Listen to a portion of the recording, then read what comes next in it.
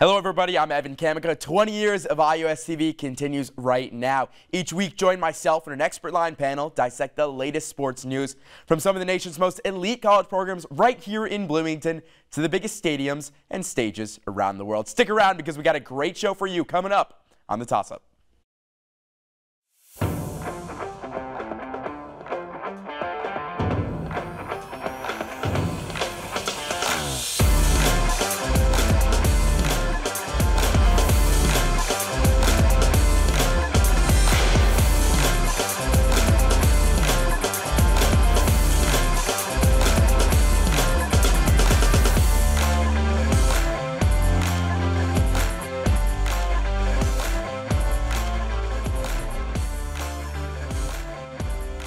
50.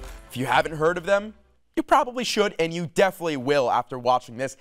That's what Shonda Stanton and the Indiana softball team call themselves as they have high hopes for this new softball season. Oh, and later in the show, we have a special guest that I already said her name, so be excited for that. But right now, joining the panel is our IUSTV softball trio. That's Ryan Costello, Emma Watson, and Samantha Condra. Everyone, I, would say welcome back, but I feel like I see you guys all the time. So yeah. welcome back yeah. anyway. Well, thanks for having us. Thank you for having us. and yeah, I'm bummed we don't have helmets today to put on. I know. Oh, we, we need softball bats. Yeah, we need softball bats. Maybe we, we can do like a little sword fight. Yeah. Yeah. Like like Star Wars kind of thing, like lightsabers with baseball, softball bats. Exactly. Anyway, let's just dive right into it. Indiana finished last season in a heartbreaking way, missing out in the NCAA tournament again. Ryan, I'll start with you. What does the team have to do this season to get better? They need to have consistent pitching. Um, Heather Johnson, she needs to dominate. So does Brianna Copeland and Macy Montgomery. They just need to have that consistent pitching because that's the most important thing to win some games. I'm going to follow up with that and say I was there at the Big Ten tournament and I saw the heartbreaking loss to Penn State. And one of the things that we talked about after the game with that is Indiana had a lot of chances to put that game away. Um, they had a lot of opportunities and scoring position that they weren't able to capitalize on. They had a lot of 0-2 counts. Sometimes they had a lot of runs that came off of two outs. Um, throughout the season last year with Team 49, they just could not finish games. Um, we covered one game against Notre Dame uh, where they had the Irish on the ropes the entire game and they lost it in the final minutes.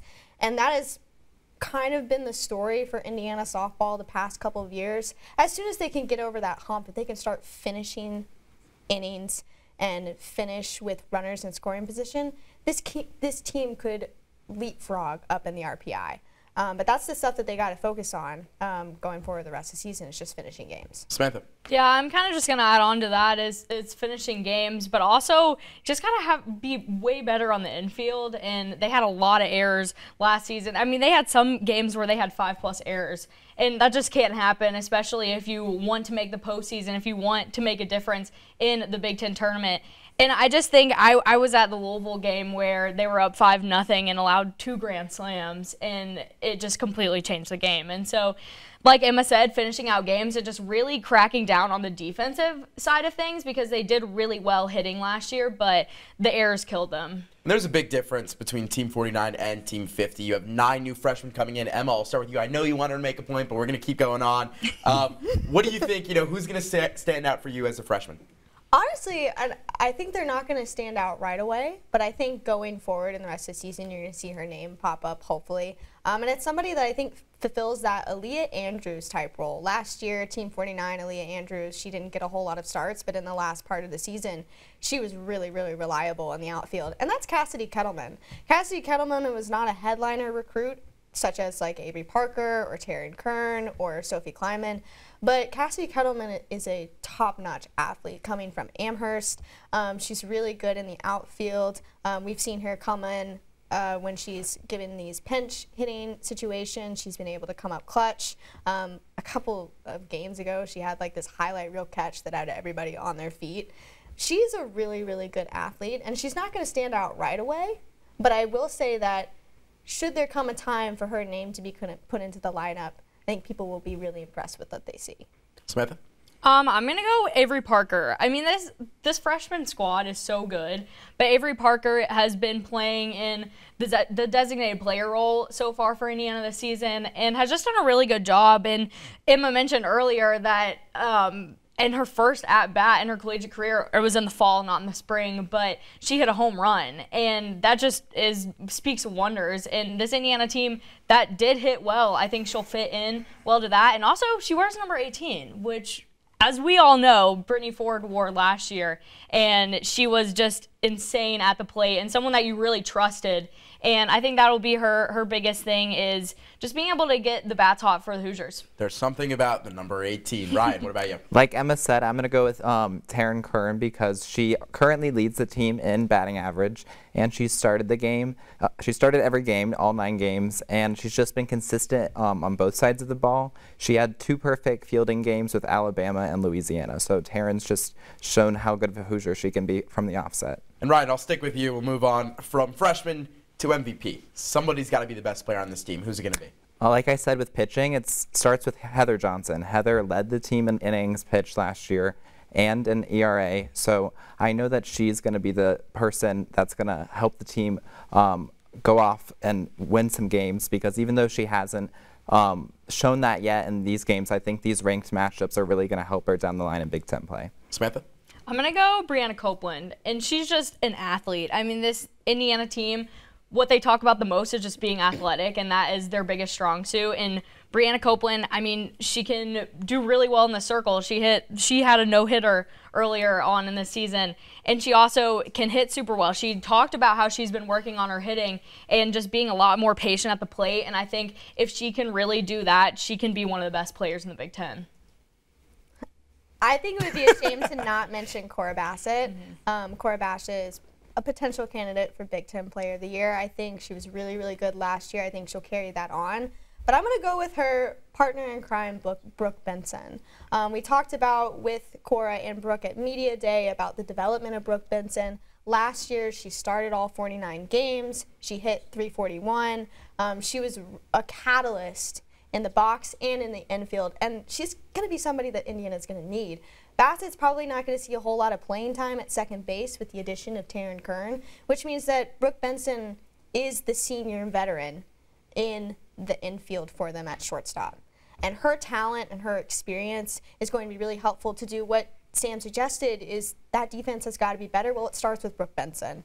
Um, and I think that her game from her freshman year when we saw her in 2020, uh, going into 2021, 2022 and now in 2023, she's great. She's performed. So I feel like Brooke Benson is, is going to be the most valuable player for this team. She might not get all the accolades, but I think that her value to the team is, is irreplaceable. And they'll need that because, you know, you still have your tough stretch of um, tournaments that they're going through right now.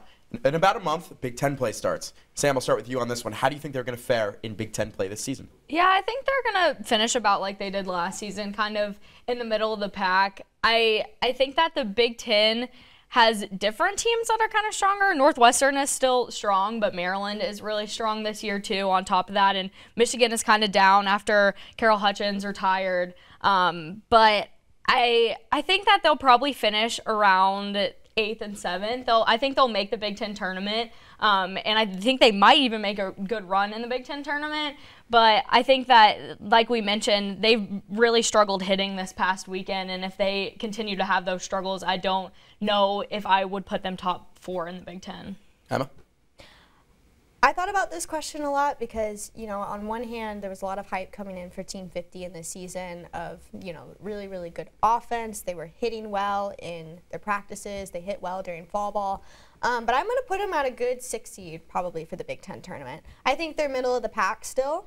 Um, but I think that, you know, the first two weeks of a softball season does not tell you the full story. I mean, we saw Texas last year. They went over 5 in the Clearwater Invitational. They ended up making Women's College World Series final. Um, everybody wrote them off. They went unranked, and you know they almost got to lift the hardware. The first two weeks of a softball season is so you get all of the kinks out, like we were talking about. Um, but like the next couple of weeks are going to be really important for them. If they can get the wins that they need and they get the confidence going in, this could be a steamroller team in the Big Ten. They just gotta they just got to finish. They just got to get all of the things in the right place, and that's hard to do in softball because it's such a situational game.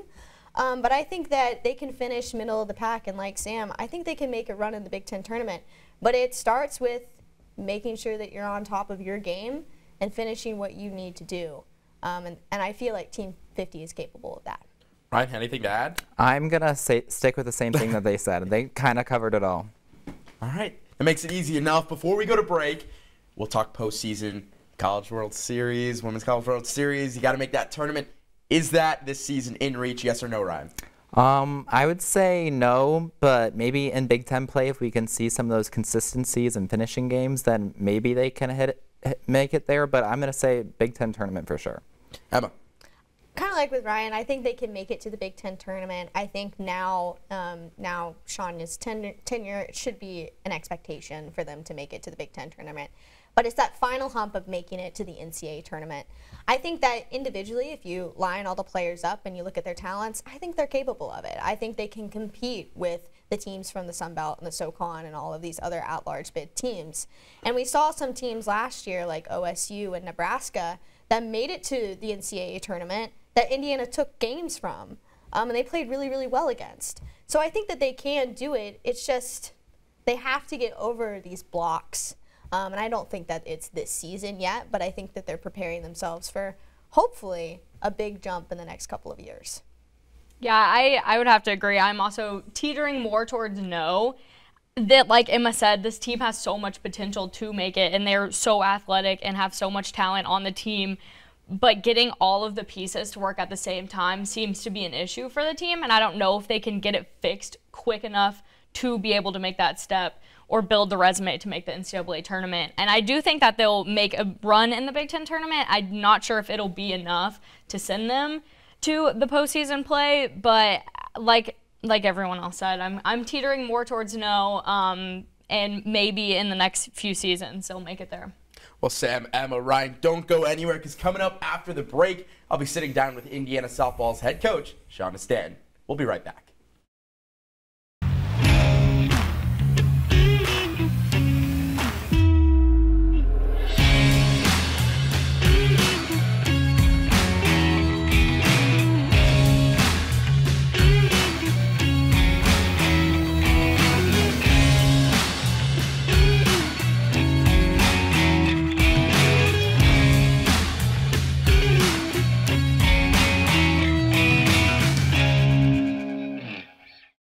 Welcome back. We teased earlier that it's going to be a special show, and wow, was I right? Shonda Stanton, head coach of Indiana softball, is here. Shonda, thank you so much for coming in. Evan, this is great. You guys do a phenomenal job here at IUSTV. What an awesome experience, right? Media yeah, school is pretty legit. It's it's super legit, and we and we love covering you guys as well. So let's get right into it. I want to start with a personal question. When did you first fall in love with softball?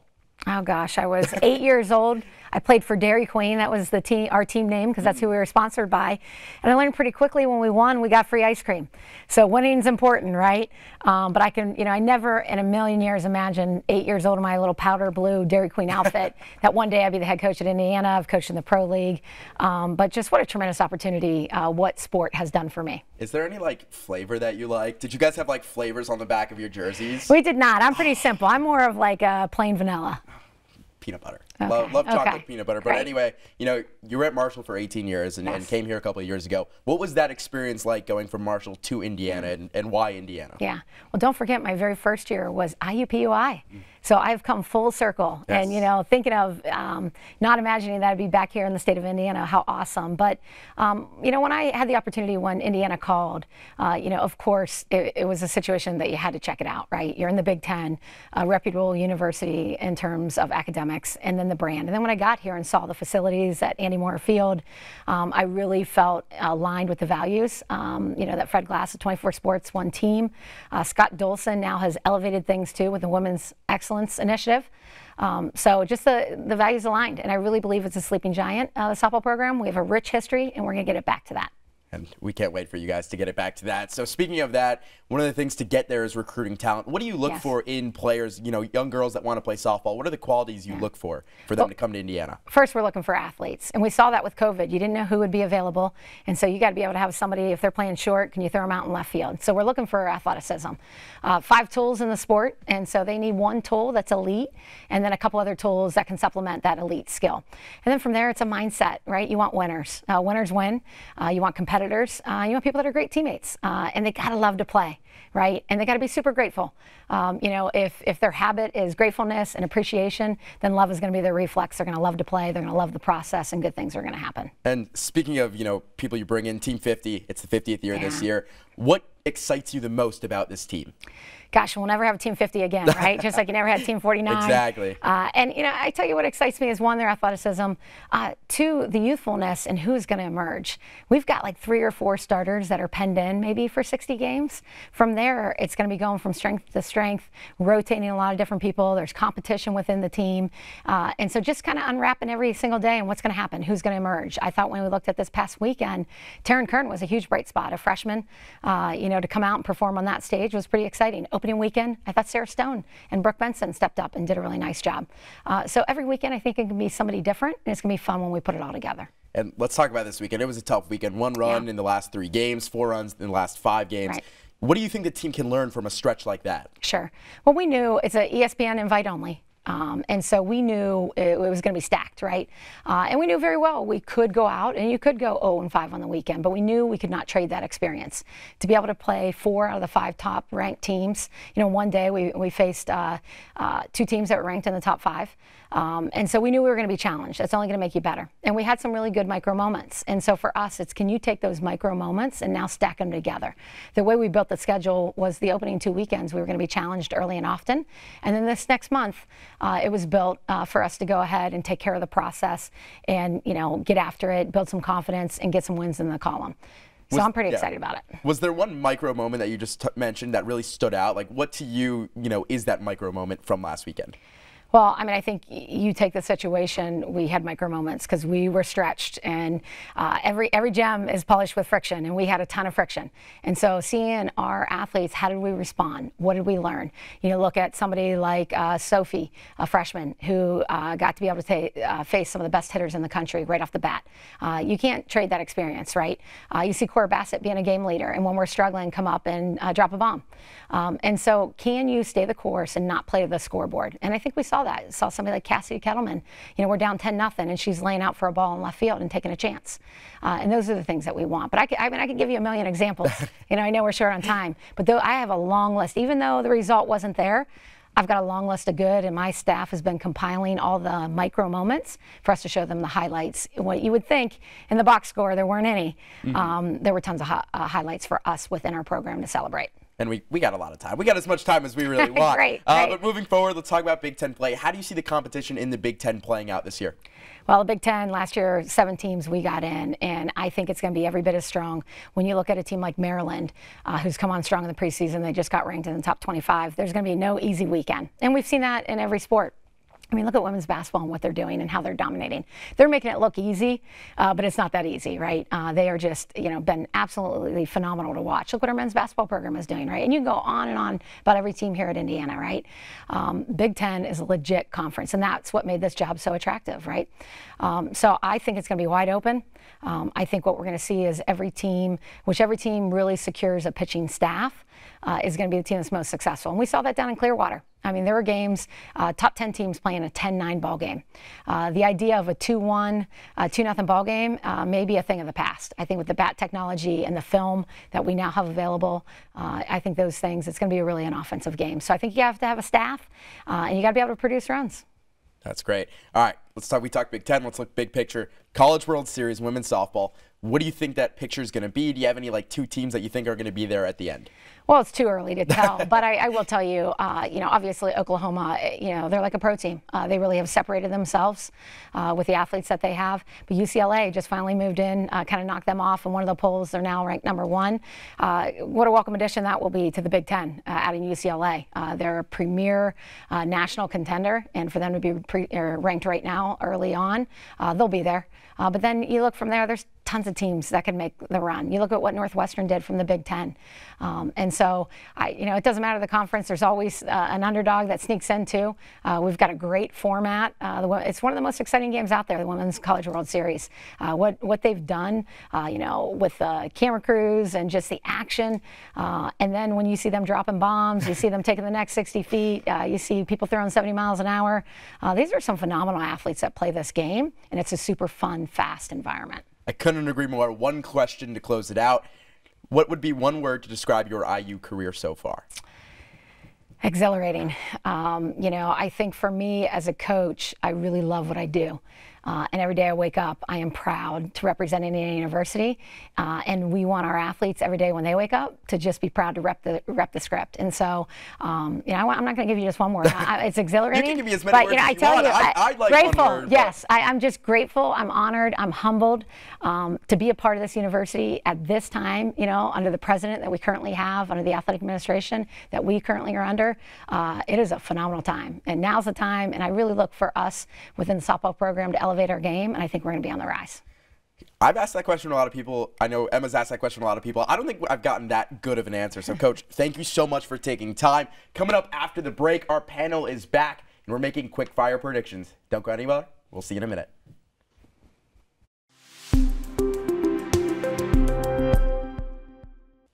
Welcome back. Still on the panel, Ryan Costello, Emma Watson, and Samantha Condra. Time for quick fire predictions, my favorite thing. In one to two sentences, we'll make our predictions. Emma, I'll start with you. Big Ten Player of the Year. Who is I- it and why? I can't do this in two sentences. Yeah, you can. I can try. then what's the point of quickfire if you're just going to Oh my god. take 30 seconds? Anyway, my time is ticking down.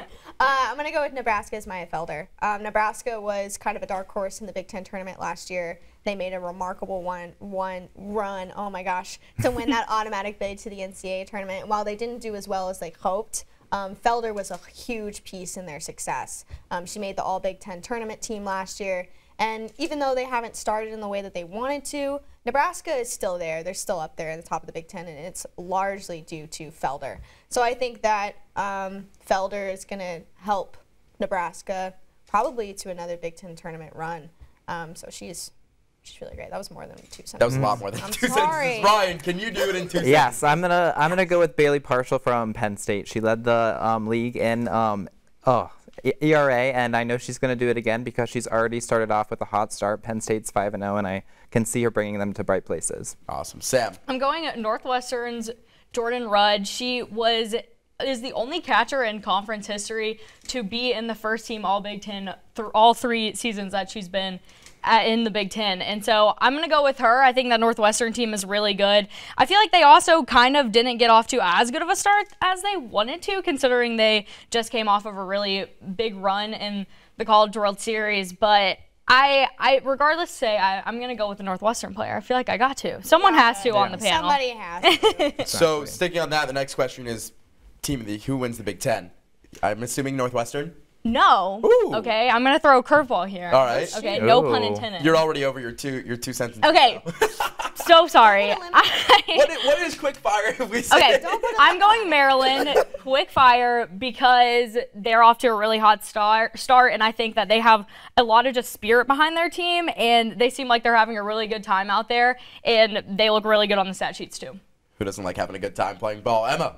Fine, Northwestern. I'm gonna, say, I'm gonna pick Northwestern. It was a shame that they didn't win the Big Ten tournament last year, um, but I think that this team they return almost everybody from their Women's College World Series run team.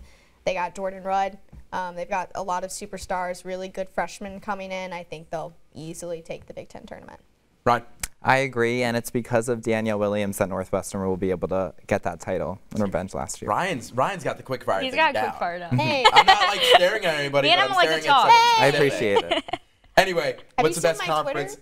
I, I have seen your Anyway, moving on. Best conference in college softball, Emma.